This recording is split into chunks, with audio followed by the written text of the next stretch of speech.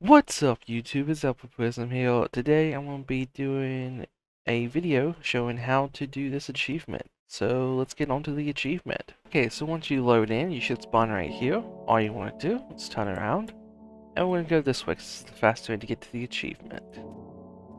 As you can see, we're just going to run right down this way.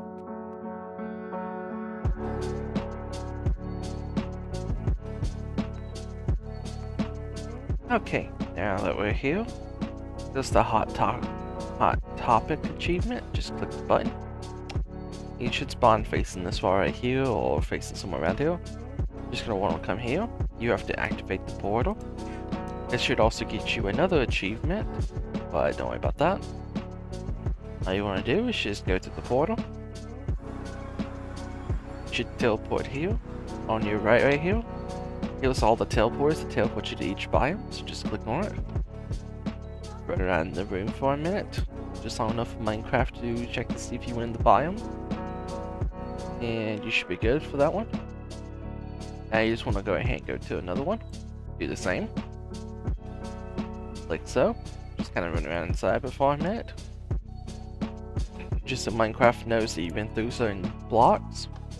Go ahead and teleport to the next one. This one, of course, there's no more that got added, so that one's just empty. Just gonna do this one. Do the same. Just run around for a minute. Now go ahead and teleport here. Go ahead and go to this one.